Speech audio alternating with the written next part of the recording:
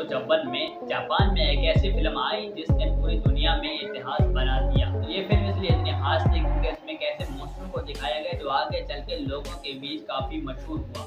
इस फ़िल्म का नाम था गोडजिला और जहाँ पहली बार गोडजिला को बड़े पर्दे पर दिखाया गया था। सन उन्नीस सौ छप्पन में इसी फ़िल्म का अमेरिकन वर्जन रिलीज़ हुआ, जिसमें गोडजिला को दानों का राजा बताया गया। गोडजिला एक ऐसा विशाल का दानव है जो इंसानों से छुपकर समुद्र की गहराई में बसता है। कहते हैं कि धरती में जब बड़ी मुसीबत आन पड़ेगी, तब ये समुद्र से उठ जाएगा और धरती की रक्षा करेगा।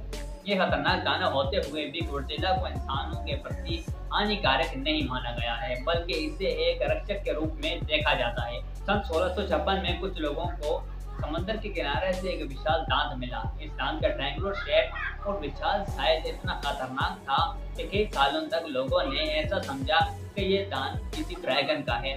सन 1835 में इस बात की पुष्टि की गई कि ये एक इंजन शार्क का दांत है, जो लाखों करोड़ों साल पहले धरती के समुद्र में तैरा करती थी। इस शार का नाम रखा गया मैगलाडोन और पूरी दुनिया हैरान रह गई कि कभी धरती पर इतनी खतरनाक शार्क भी रहा करती थी। इस बात में कोई शक नहीं कि मैगलाडोन दुनिया की सबसे खतरनाक शार्क है। लेकिन की जंग समुद्र के महादानव गोडजिला से हो जाए तो कौन जीतेगा।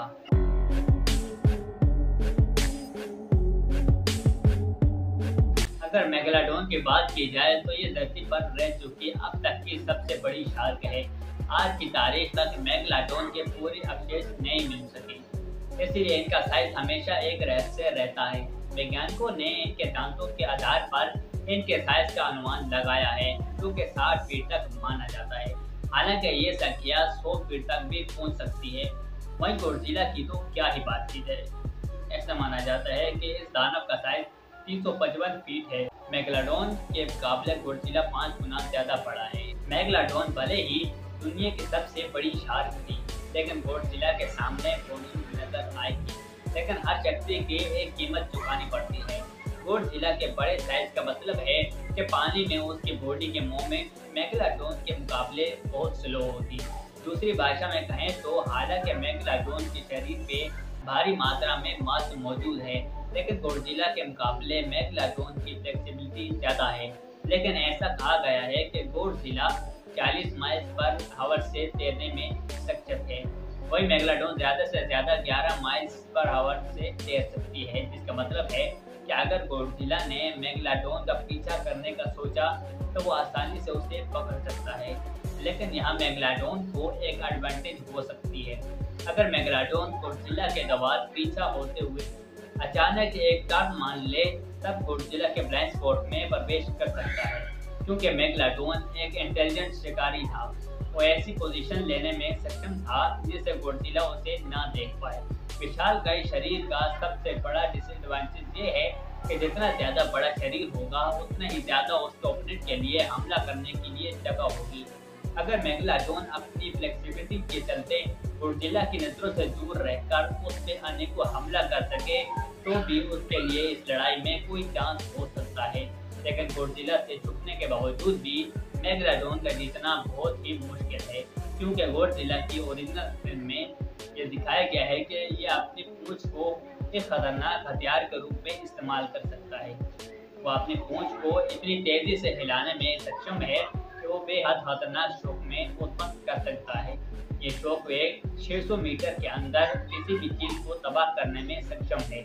और अगर इस शोक वेग की चपेट में मेगलाडोन आ गई तो कितनी दूर तक जाके गिरेगी, इसका अंदाज़ा लगाना भी मुश्किल है। एक बात तो मान लेते हैं कि मेगलाडोन गुर्जिला को काटने में सक्षम हो जाता है, लेकिन क्या इससे गुर्जिला को कोई नुकसान होगा? अगर गुर्जिला के शरीर की ओर नज़र डालें तो एक पत्थर की तरह साफ़ है, उसकी बॉडी ठीक एक मगरमच्छ की तरह दिखती है। भले ही मेगलाडोन का बाइक बेहद खतरनाक हो, लेकिन गोडजिला के शरीर को बेचना बहुत ही मुश्किल है।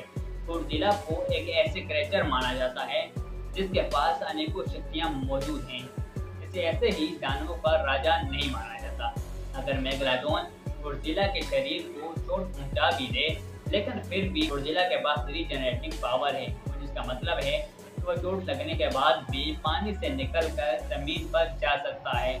और थोड़ा इंतज़ार के बाद उसकी बॉडी खुद बहुत हील हो जाएगी। हाँ इसमें गोडजिला की बॉडी में थोड़ी सी कमी आएगी, लेकिन इतनी भी नहीं कि मेगलाडोन को ना हरा सके। सबसे महत्वपूर्ण बात गोडजिला अपने मुँह से एटॉमिक हीट भी निकाल सकता है, जो कि एक तरह की न्यूक्लियर एनर्जी है, जो अपने शरीर के अंदर बनाता है और मुँह से लेजर बीम के ज़रिए निकालता है।